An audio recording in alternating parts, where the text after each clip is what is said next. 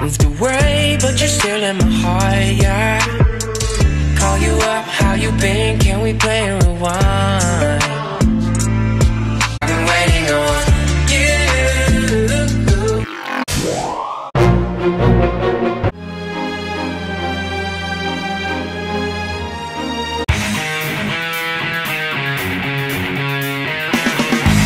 Welcome back to the channel. yeah, boy.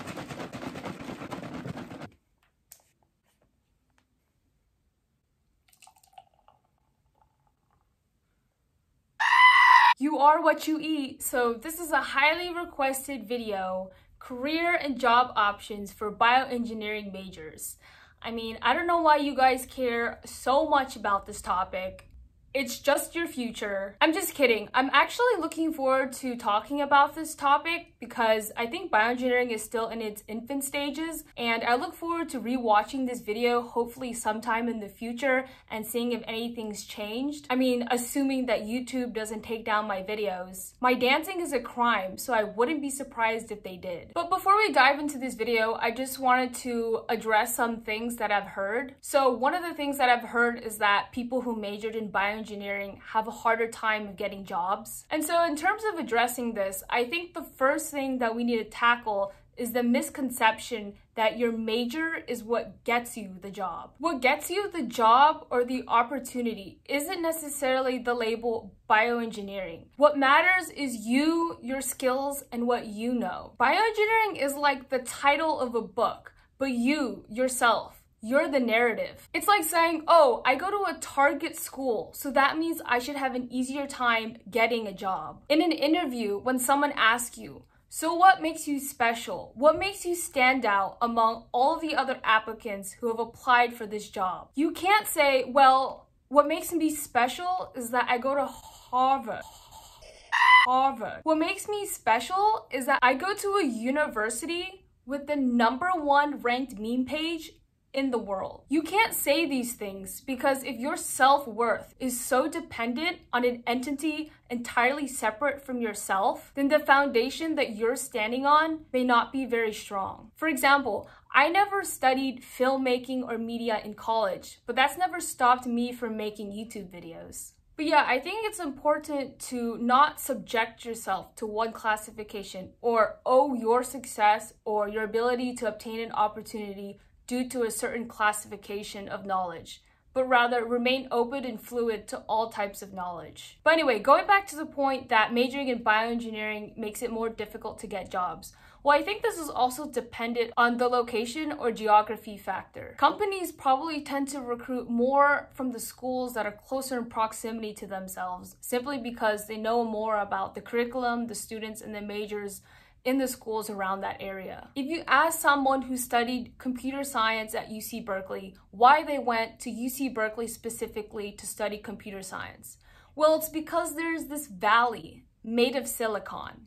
the Bay Area. Oh, yeah. I need to get high off that startup culture. I need to breathe in the same air that Steve Wozniak exhaled. But yeah, going back to bioengineering, I mean, I think Genentech tends to recruit a lot from Berkeley students. San Diego's biotech scene also tends to recruit from UC San Diego, which has a really good bioengineering program. But ultimately, yeah, I can see that if you're in an area that isn't that familiar with the term bioengineering, it could be a little bit more difficult to get a job. Like certain restaurants don't flourish very well in certain locations. I mean, it doesn't mean that the restaurant is serving shitty food or the restaurant isn't good. It's just that the restaurant is in a region that doesn't have the audience that the restaurant is trying to attract. Unless it's McDonald's, I mean, they're successful everywhere. By the way, is there a McDonald's in Antarctica? Penguin McFlurry. No, my friends, there is not. So the second thing that I've heard, which is actually pretty spicy, is that bioengineers tend to make less in salary than other majors. And this is probably true. I actually don't know the average salary of a bioengineer. I, I didn't look it up. First of all, I actually think it's pretty good to look up these numbers and statistics because it gives you a general idea of the success of a major and whether or not you should go into it. But I think another thing to keep in mind is do you want to become just another number that's a part of the statistic? Do you want to consider yourself as part of the average? Like in college exams, if you score average, you're not going to get an A in the class. In order to get an A in the class, you need to be one, two standard deviations above average. You should instead have the mentality of, I want to be an outlier. Here's where everyone else is but I'm fucking, I'm flying over here. It would be really cool if we all thought like that. But yeah, we're going off topic. So back to the salary point. I don't know who said this, or I don't know if anyone has said this, but status lags behind a generation. It's okay to do what other people think is crazy or unorthodox or out of the box. It's okay to train yourself with the mentality of, I'm not going to be just average. Imagine the first person who introduced oat milk to the world. People were probably like, ew, is that just the juice residue of oatmeal? Anyways, thanks for coming to my TED Talk. Now let's get into the actual content of this video. I do. I've been waiting on you. Did you like, comment, and subscribe yet?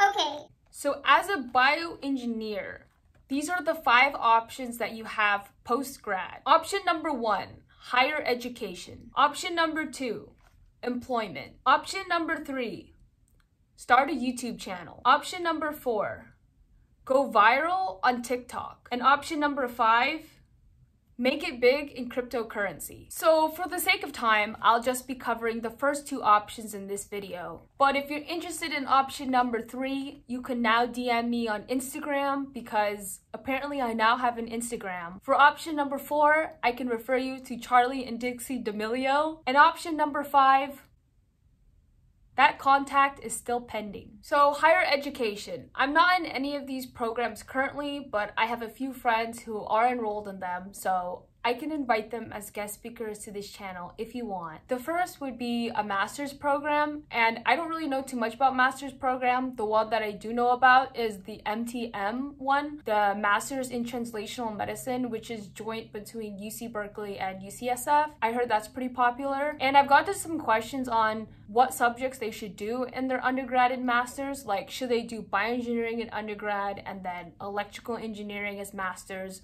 or should they swap it, vice versa? And I think undergrad will be generally pretty broad, whereas your master's would be more specialized. So you should just pick whatever you would want to study to be more broad, do that as your undergrad, and then whatever you want to specialize in or go deeper in, you should do for your master's. And then the other higher education would be getting a PhD, and obviously this would be for the people who are heavily invested in research.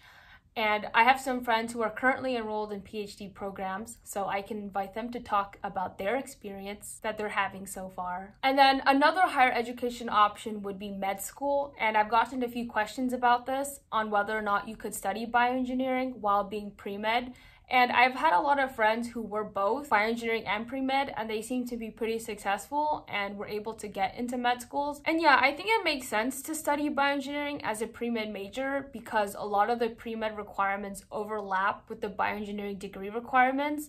The only exception would be your GPA may drop a little bit because you'll have to take classes that are external to these pre-med requirements.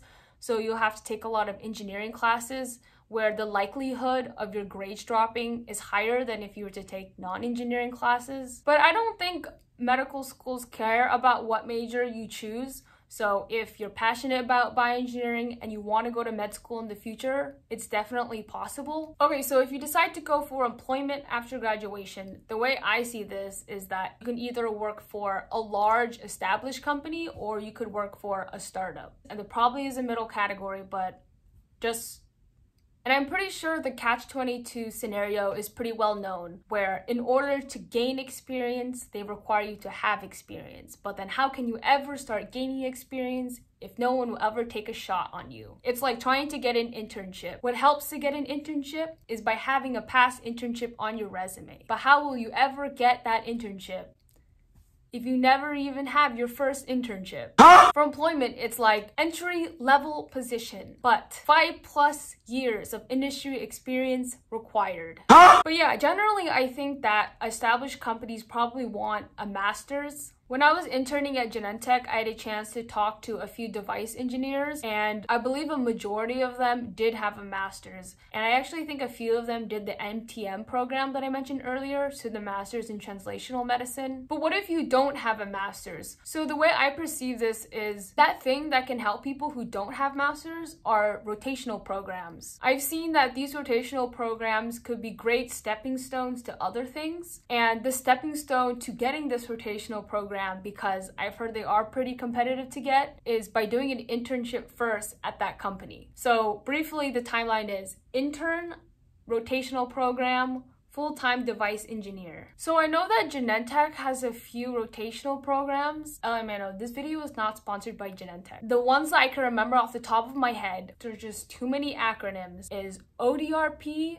no, ORDP and PDRP. And I believe both are rotational programs for two years. And now startups. Obviously, I can't speak for all startups or all companies because they all have different requirements. I don't know, an example could be Neuralink. So actually I worked at a lab at UCSF for a little bit and the undergrad who was a year above me, so a year older than me, she went on after her bachelor's from Berkeley to work at Neuralink. And then another company that I've seen Berkeley alumni go off to work at is the Chan Zuckerberg Initiative in San Francisco, I believe. Guys, I'm just so stressed out. I don't know what waffle maker to buy. Like, how thick do I want my waffles? One inch? Quarter inch? Do I want round or rectangular waffles? Or do I want a spicy pattern like the Mickey Mouse pattern? What diameter of the waffles do I want? So in a previous video, or I mentioned that Berkeley offers four concentrations in their bioengineering program. And I'm sure other schools offer other concentrations that are maybe similar or different, but I'll just talk about these four because these are the four that I'm familiar with. So the first concentration is biomedical devices. So a career path for this would be becoming a device engineer and mechanical engineering and electrical engineering would play probably pretty big roles. And I actually think the term device is a pretty interesting term because the first thing I think of when I hear device is something with some circuit or EE backend of a product. And devices don't necessarily have to be classified under this definition. Device can be literally anything. Device could be chopsticks. Device could be your boba straw that you use to suck up your boba. Device could be a stretcher that takes a person from the ambulance and into the hospital. But yeah, I just thought that it's cool. Devices can be so many things. But yeah, in terms of device engineerings for BioEs, they would probably have to do a lot of designing, testing, and regulation. So another concentration offered at Berkeley is biomedical imaging and yeah, I don't know too much about this, but I do know that you have to know quite a bit of electrical engineering for this. I took a biomedical devices slash imaging class at Berkeley back then when I was super speedy at solving circuits. Kirchhoff's law, V equals IR. V equals Oh, IR. Yeah, I just remember my professor telling me that it's really important to have understanding of electrical engineering when you're making these devices, but to also not forget the biological or human aspect. I mean, when you're making these devices that will eventually be implanted in a human body, the ultimate goal is to keep that person alive. And he was saying how he had past students work on a project and we're so focused on the technical aspects. How can we make the best possible circuit, but then completely miss the other side of will this human even live if this device was implanted in a human body? So yeah, theory is important but so is practicality. I actually think it would be pretty cool if someone who decided to go into medicine studied bioengineering in their undergrad because the devices that you eventually use to treat your patients will be devices that you actually understand the theory of its methodology. So actually, quick story time. I promise it'll be short. One time I went over to UCSF to just randomly shadow a heart surgery, which was really cool actually.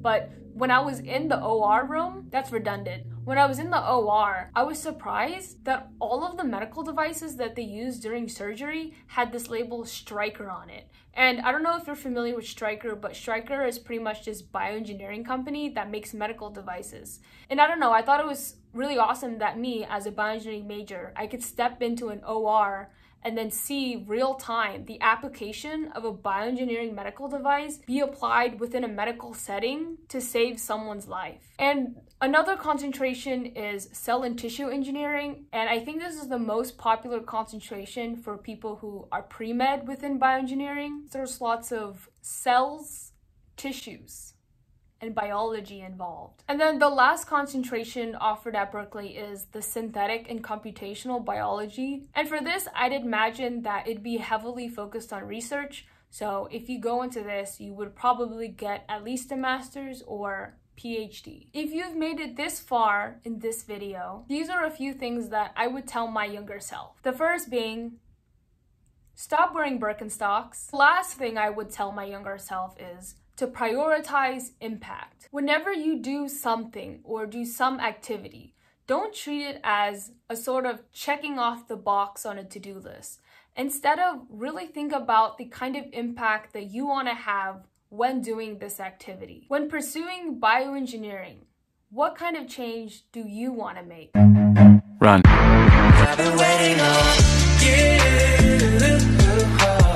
Time to make dinner.